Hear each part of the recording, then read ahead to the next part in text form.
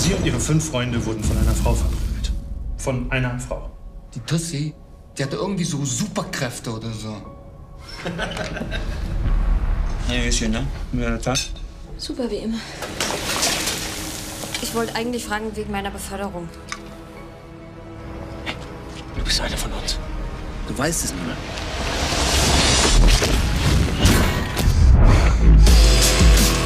Plötzlich Leute durch die Luft werfen und so. Das ist doch nicht normal. Das bist du.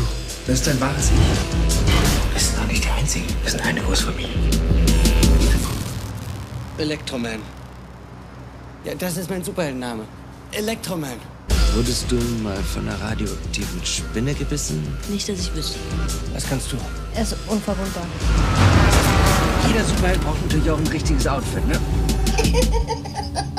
Ja, im Internet sah es irgendwie geiler aus. Was machen wir jetzt damit? Na, mit unseren Superkräften. Wenn die uns da draußen erwischen, dann sperren die uns weg. Wir können einfach nicht mit normalen Menschen zusammenleben. Mama, was ist los mit dir? Macht mir Angst. Mir auch. Warum bin ich so ein Freak? Du bist kein Freak.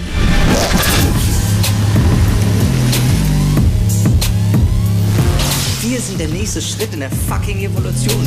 Brauche kein Schutz,